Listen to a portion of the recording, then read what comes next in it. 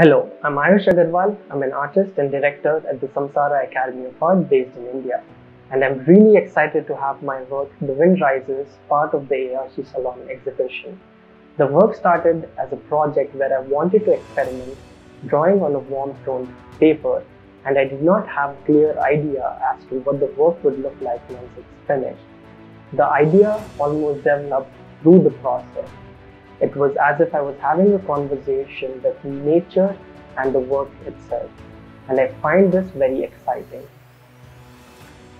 I can spend an infinite amount of time observing nature to try and distill what's important for the idea that I wanted to convey. And this process keeps me engaged beyond the technical so I can experiment and try new things on how I want to express what I'm observing.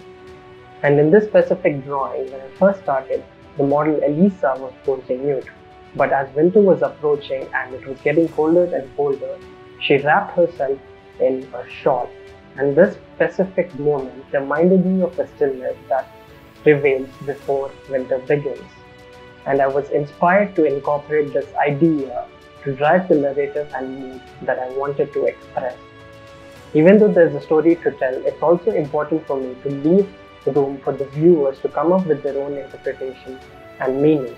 So I try not to develop all areas exactly at the same level, trying to create a harmony between areas that are very specific and areas that are loose and abstract. Ultimately, in my work, I'm attempting to create a breathing sense of light, atmosphere, and expression that I hope everyone can relate to.